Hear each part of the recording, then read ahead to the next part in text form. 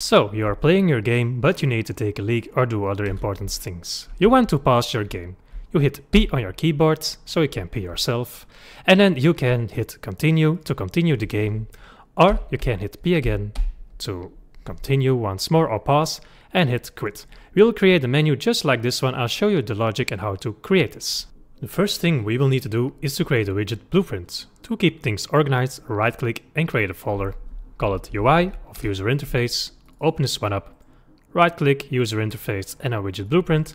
Let's call this one the pause menu. Open that one up and dock it in here so we can easily switch in between. Okay, let's start with the text, drag in your text and here in content let's name this game paused so our player sees that our game is paused. Here under appearance in font you can increase the font and then scale up as you need to. And let's anchor this here to the screen like this. Good. Now we will need a button. So, drag in a button. Let's make the button a bit bigger. Like this. Anchor it right there, for example. And let's drag a text on top of this button. Let's name this continue. And let's also increase the font of this button so we can see it really good. Okay. Click the button once more and let's give this a name. For example, continue. So later on we can see that we can work on this button. Then click here, Control W to continue this one. And let's name this quit because I want to make a quit button. And the text here, let's change the text to quit. Okay, let's align these a bit and place this anchor right there. Okay, so this is a very simple pause screen, but you can just tweak this as you like. Let's add some logic to this. First of all, hit the button, not the text, but the button itself. Then go to on clicked event and click this one. The first thing we want to do is to set the input over game mode on clicked. So, right click, then get player controller, then drag out of this, set input game mode only. So when we continue, it's back into our game. We no longer want to UI here. Then also drag from this value, set show mouse cursor. We don't need the mouse cursor anymore, so leave this empty. Then drag off this, remove from parent. This makes sure our screen that we just made here is removed from our screen. So remove from parent target self. So this is the thing itself. And then set game paused. Click this one and keep it unchecked because when we hit the continue button, we don't want the game to be paused. Okay. Now back to designer. Hit your quit button Remember to click on the button itself and then on clicked. This one is easy.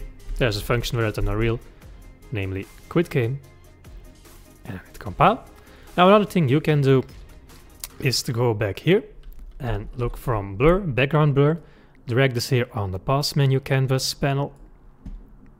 So you have your background blur for example.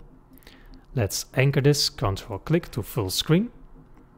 Then look from blur and the blur strength, let's set it to something like two or three maybe. You see this is blurry. Okay, this is what I want. Now I can drag this more on top of here. So my game is blurred and not my screen. So make sure this is above these other ones. So my game is a bit blurred. This happens most games when you pause your game. Okay, great.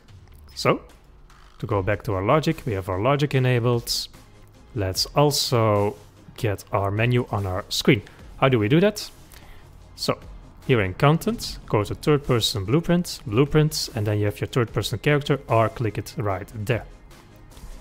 Good. In the event graph, we need to add an event. How do we do that? Go to edit, project settings, and under engine there's input, and let's create a new action mapping. Hit the plus icon, and let's name this one pause. The input for this, hit the P for the P key, not on the gamepad, but here on the keyboard. P. You can add more if you like. I just use the P key for pausing my game. Okay. And now when I go back here in the event graph of my third person character, right click, then you can see the action that we just created, namely pause. Okay, first thing we have to do when this is selected is execute when paused. Most things are paused when the game is paused, of course, but we don't want this paused because this needs to work while our game is paused. So click this box. Then on pressed, we will create a flip-flop. And this sounds funny, but it's actually a very convenient thing. Namely, it first executes A and then B. So we can do opposite motions of each other. Let's start with the A, the thing it will do first. So let's create a widget.